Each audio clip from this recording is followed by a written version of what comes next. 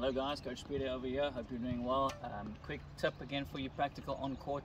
I'm going to use the forehand, but you can use it for forehand and backhand.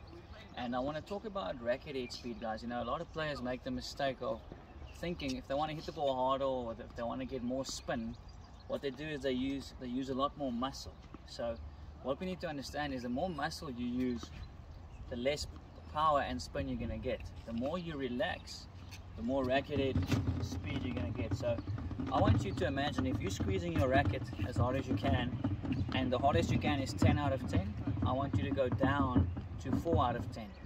So you're gripping it 4 out of 10, it's very loose in the racket. So the racket's very loose in the in the hand. So what I'm going to do is I'm going to show you two or three where I'm really trying to force it. I'm going to muscle it, and you'll notice that I'll get a lot less out of it.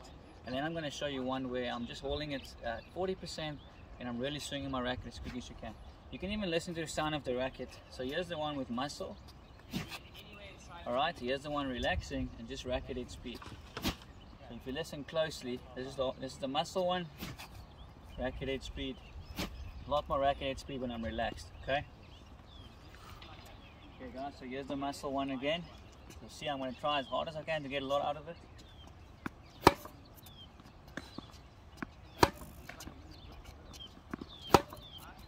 Very limited, very very stiff.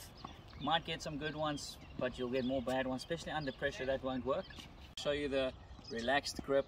Racket it's focusing on racket speed without forcing.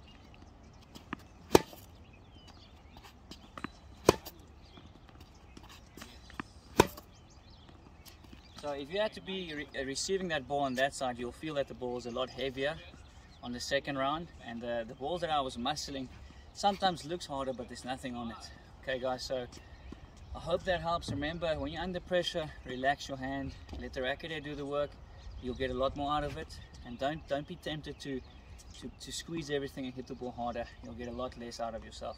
Okay guys that's my tip for today. Next lesson will be more mentally based again